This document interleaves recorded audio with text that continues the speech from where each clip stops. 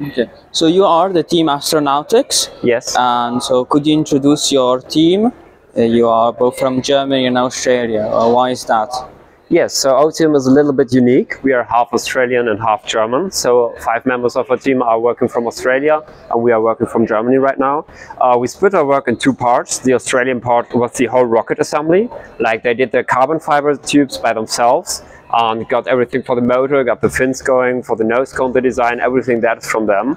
And our side of the team just focused on the, for example, this, the avionics stack itself. So we designed it by ourselves, 3D printed everything and programmed all the uh, data for this. Also, we have developed the uh, flight computer by ourselves. So this is a GPA Mini that was designed just by our team, just in time, uh, just for this purpose. Uh, the GPA Mini serves two purposes. The first purpose is like the avionics computer, so it measures all the data like telemetry. The second purpose, in this case, would be our payload. This is like a small uh, pocket satellite with a measurement of 5 by 5 by 25. And it also has the GPA Mini built into there.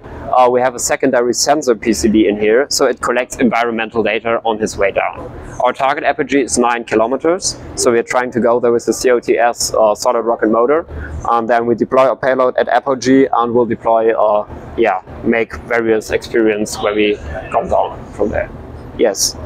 So another mechanism we have designed from our side of the team in Aachen is the payload ejection mechanism. So the plan was to do a cutout in the rocket.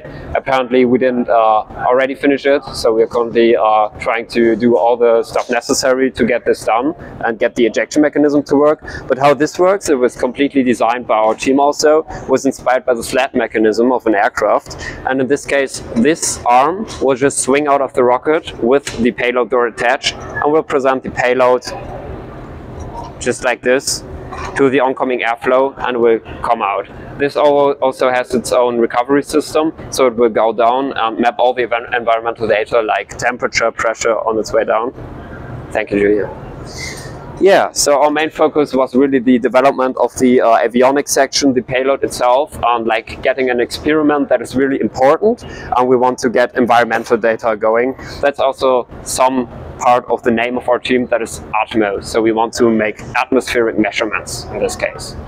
So they can the uh, the payload measures like atmospheric composition? Yes, it does. It measures, for example, humidity, temperature, pressure, therefore also the density, and we hope to get valuable data for the next flights. So this is our first project right here. It's the first time we're here at the EuRoC, and we want to validate all our data so we can do it better and better every time we come. And